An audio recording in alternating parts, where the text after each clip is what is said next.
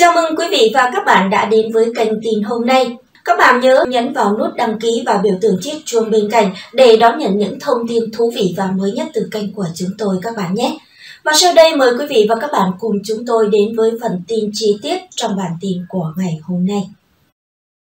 Triều Lê Dĩnh và sự biến mất bí ẩn của đệ nhất paparazzi Trác Vĩ Đệ nhất paparazzi Trung Quốc Trác Vĩ là nỗi sợ hãi một thời của đông đảo các nghệ sĩ hoa ngữ. Với những nguồn tin cực nhanh, cực chính xác, Trác Vĩ đã bóc phốt biết bao vụ lùm xùm đình đám và khiến các ngôi sao phải e ngại cùng lời nhắn nhủ, hẹn thứ tự gặp. Không ít ngôi sao đình đám phải điều đứng sụp đổ hiện tượng đánh mất sự nghiệp vì lọt vào tầm ngắm của ông chủ studio phong hành.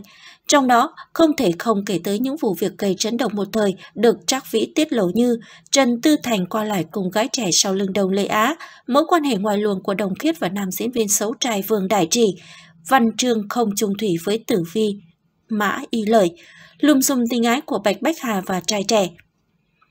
Sau nhiều năm lộng hành, cả showbiz phải ngỡ ngàng khi tài khoản cá nhân của Trác Vĩ bất ngờ bị khóa và tay săn tin khét tiếng này cũng im hơi lặng tiếng từ đó. Được biết, trước khi bị cấm sóng, Trác Vĩ đang nhắm vào mỹ nhân đình đám triệu Lê Dĩnh. Thậm chí có nguồn tin cho biết, nữ hoàng rating từng bí mật tới Bắc Kinh để gặp Trác Vĩ và khóc lóc cầu xin. Xin ông buông tha cho tôi được không, đừng có nhầm vào tôi nữa. Thế nhưng, những giọt nước mắt của mỹ nhân Hòa Thiền Cốt chẳng thể khiến ông chủ phòng hành mũi lòng. Trác Vĩ gây bão trên mạng xã hội khi tung tin Triều Lê Dĩnh chưa kết hôn đã mang thai. Điều này khiến hình ảnh của nữ diễn viên bị ảnh hưởng nặng nề.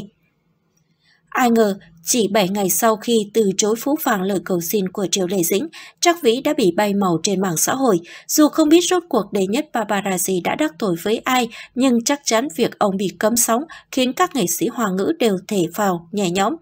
Thế nhưng, đối với những cư dân mạng thích ăn dừa hóng thỉ thì rõ ràng đây là một tiếc nuối lớn vì mất đi nguồn tin vừa nhanh vừa chính xác.